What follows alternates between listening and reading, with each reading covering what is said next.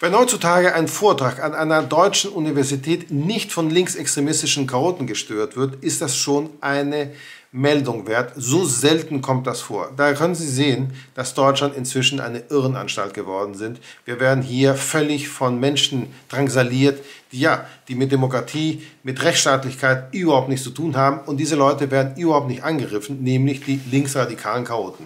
Das Ganze ist tatsächlich kein Witz. Es ist eine Meldung von der katholischen Nachrichtenagentur. Und damit Sie das, ich zeige Ihnen das, weil man das, das hält man kaum für möglich.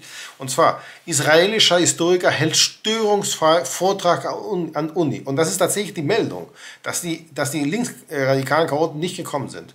Auch das gibt es in diesen Tagen an einer deutschen Universität, einen weitgehend ungestörten Vortrag eines prominenten Israeliten, israelischen Gastes. Ein Auftritt des Historikers Moshe Zimmermann in Bonn ging problemlos über die Bühne. Das wird als, ja, als so eine totale Besonderheit dargestellt. Ja?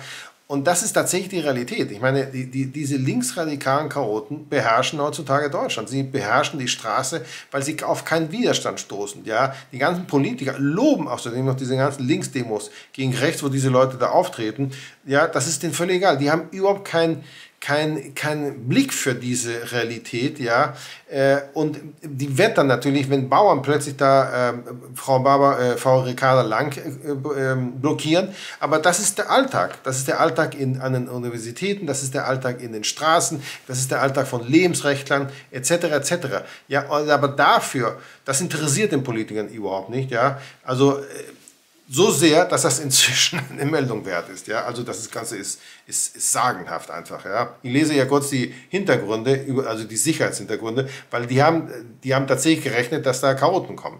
Vor dem Hintergrund jüngster Vorgänge an manchen Hochschulen habe, also die Gemeinde ist natürlich Berlin, habe man moderate Sicherheitsmaßnahmen ergriffen und in Kontakt mit der Polizei gestanden, sagte die Geschäftsführerin des Zentrums für Religion und Gesellschaft an der Bonner Uni Barbara, Barbara Lose.